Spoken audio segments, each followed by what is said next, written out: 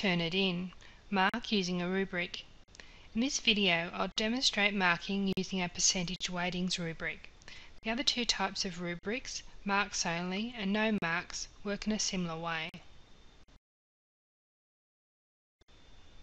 This video assumes you have already attached a rubric to your assignment.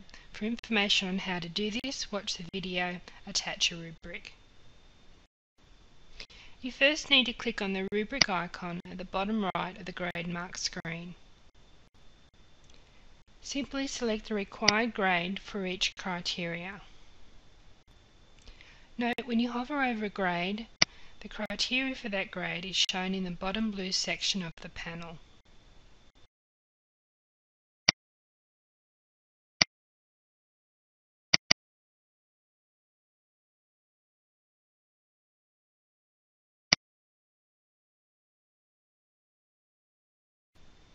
Both the rubric score and the rubric percentage are automatically calculated and displayed under the criteria.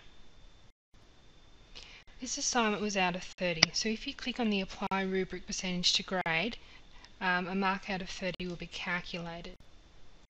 You do not have to use this option. You can alternatively just type in the mark yourself, and this is what you would do if you were using a no marks rubric.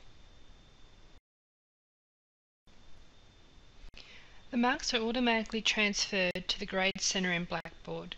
Note only integer values, i.e. whole numbers, will be transferred. So if the mark is um, to one decimal place, it'll be rounded.